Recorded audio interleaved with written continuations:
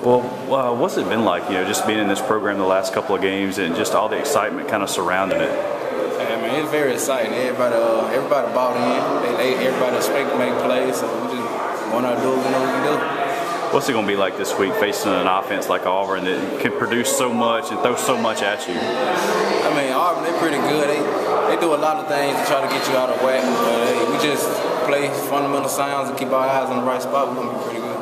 How much does defense kind of have a bad taste in their mouth with the way that game ended last year against Auburn? I mean, we, that's all we, we're talking about. We got to finish. We got a four quarters, 60 minute fight, so we got to finish to the end.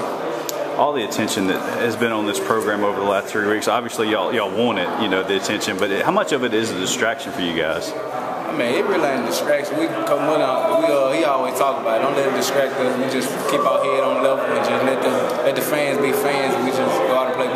What's it going to be like to have college game day here? I mean, obviously you won't be able to participate a whole lot in it, but you know, just for the fan base and stuff. You know, how excited are you as a player to have the, those group of guys here? I mean, it's, it's going to be exciting. We made history here, something that never happened. So uh, it's exciting for me.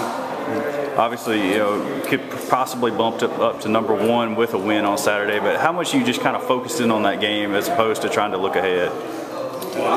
this game coming to Saturday, that's all we've been focused on. We, we really didn't even rankings we really don't even care about. We just want to focus on art, focus on the offense and stop with the team that runs the ball as well as Auburn does, I mean, it's got to excite you as a defender knowing you can kind of stick your head in there and make some big hits and stuff, knowing you're going to have a lot of action on Saturday. Oh, yeah, that's what we look for. We look for teams to run the ball because, you know, we got that front seven. They, they dogs. So we, that's, that's the battle we're looking for, to run the ball.